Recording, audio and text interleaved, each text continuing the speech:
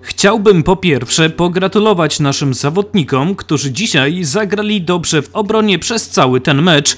Może nie mieliśmy dzisiaj najlepszego dnia rzutowo. Było oczywiście wiele otwartych rzutów, które spudłowaliśmy, ale myślę, że poprzez naszą dobrą obronę ograniczyliśmy rywala.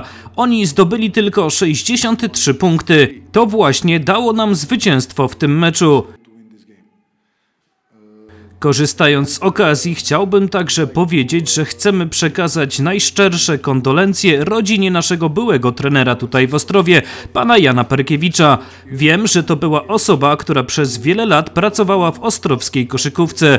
Dlatego wspólnie z zawodnikami chcemy zadedykować to zwycięstwo właśnie jemu, członkowi ostrowskiej koszykówki.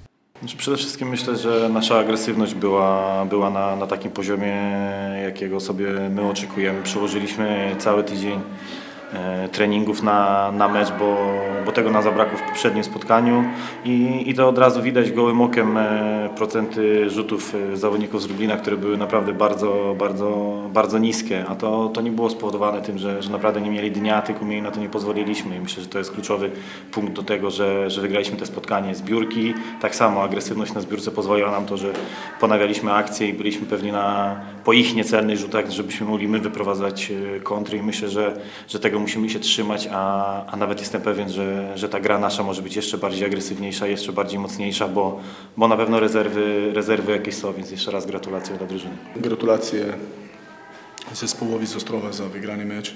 E, Grali bardzo dobre zawody. Z kolei nam się powtórzyło, powtórzyło po raz kolejny to, że nasza skuteczność rzutowa e, była bardzo niska i to był główny, e, znaczy była główna przyczyna e, naszej porażki, więc jeszcze raz gratulacje przeciwnikowi i dziękuję.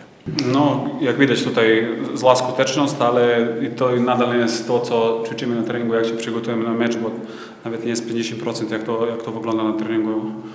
Wiem, że, to, że się przeciwnik też przygotuje na mecz i że to nie są warunki jak na treningu, ale to może być dużo lepiej i musimy, musimy po prostu zobaczyć, czemu nie możemy, nie możemy takie gry, jak chcemy e, e, grać na, na, na meczu. Tyle gratulacje Ostrowie.